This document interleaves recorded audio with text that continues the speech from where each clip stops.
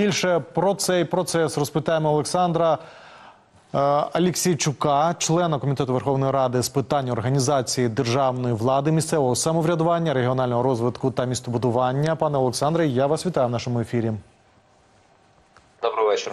Пане Олександре, власне, 18 вересня Верховна Рада не змогла з першого разу ухвалити постанову про перейменування 333 населених пунктів. А вже наступного дня таке рішення було ухвалено, але вже от щодо 327 населених пунктів і 4 районів.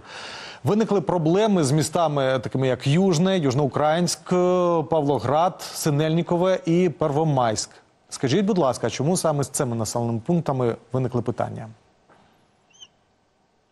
Е, Проблема в тому, що депутати, які представляють е, ті регіони, де знаходяться згадані вами населені пункти, е, відмовилися голосувати за перейменування. Разом з тим е, переконали частину інших депутатів, що перейменування наразі є не на часі, або не почули думку жителів, або не почули думку їх.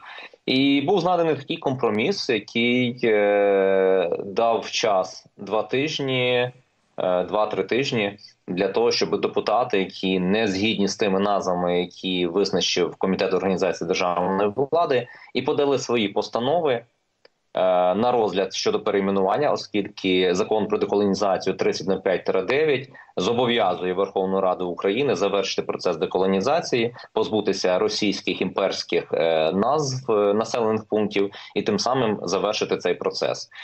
Тому на наступного разу знову ж таки постанови про перейменування цих міст за рішенням комітету будуть винесені, винесені до зали парламенту. Разом з тим будуть винесені альтернативні. Я сподіваюся, е, наразі я не бачив ще е, постанов зареєстрованих е, народними депутатами, які мають альтернативну думку по назвах, і парламент буде ухвалювати рішення.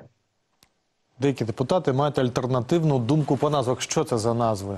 Чому вони так не згодні з тими, які вже були Е, запропоновані? От е, в- е, власне, ми би хотіли побачити ці назви, тому що е, була тільки незгода про недоцільність перейменування Сінєльнікове, яке назване на честь е, помічника е, Потьомкіна, який після руйнування Запорізької січі Катериною.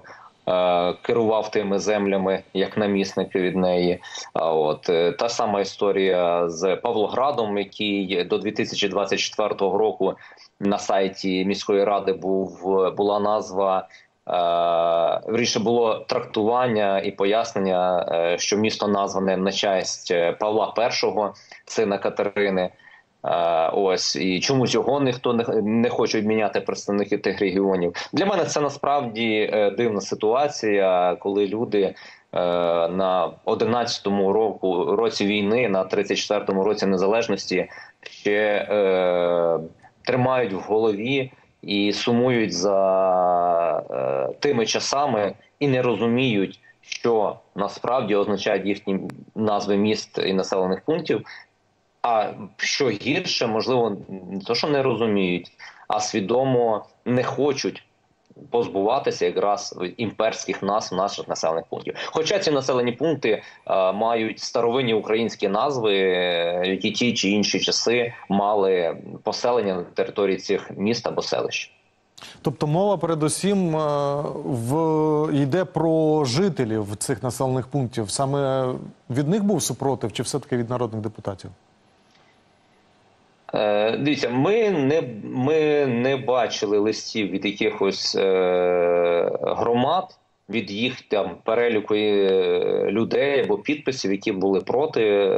Ну їхню волю, очевидно, підозрюю, висловлювали депутати. Хоча теж не, не впевнений, що це не лише ну що це не виключно їхня ініціатива. Питання в тому, що до 1 січня 2024 року населені пункти, громади, міста зобов'язані були провести громадські обговорення. Значна частина їх і їх провела, і на основі цих громадських обговорень прийняти рішення е, і направити на парламент, відповідно на парламентський комітет і на парламент е, звернення щодо рішення міської ради чи селищної ради про про перейменування міста і присвоєння йому назви тої чи іншої, яка була прийнята там більшістю голосів на е, громадському обговоренні.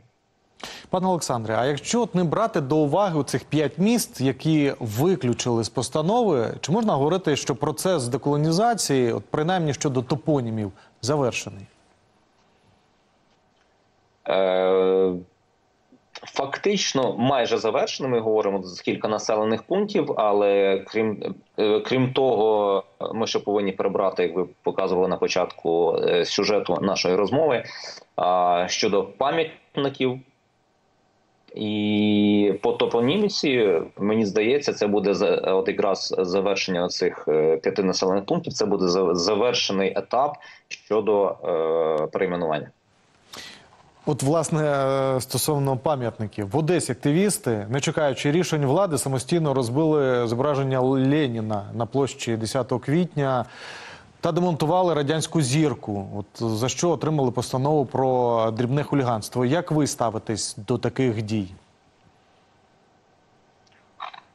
А, Дивіться, якщо влада місцева е, е, не робить роботу, очевидно, її починають робити люди, мешканці того населеного пункту, які там проживають. Очевидно, що е, громадське громадянське суспільство рухається набагато швидше з часом і з тими е, викликами, які сьогодні є, і допомагає е, місцевій владі вирішувати виконувати ті норми закону, які сьогодні діють. Мені було б дуже дивно, якби ми сьогодні е, на території, до прикладу, Польщі побачили якийсь пам'ятник е, Гітлеру. Правда, натомість у нас пам'ятники Леніна досі стоять, деякі їх переробляють на пам'ятники Шевченка, не розуміючи, що не в монументі справа, справа в історії, справа в змісті того.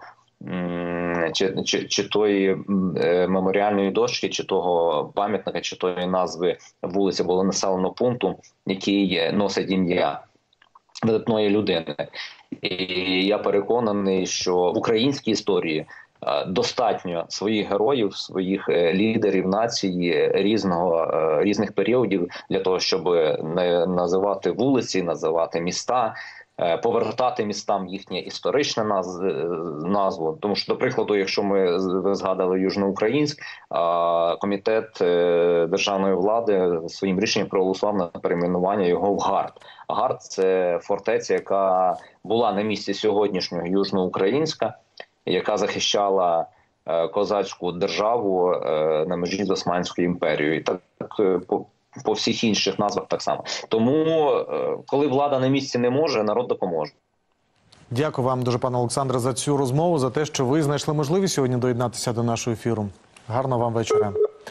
Нагадаю, це був Олександр Алексійчук, член комітету Верховної Ради з питань організації державної влади, місцевого самоврядування, регіонального розвитку та містобудування.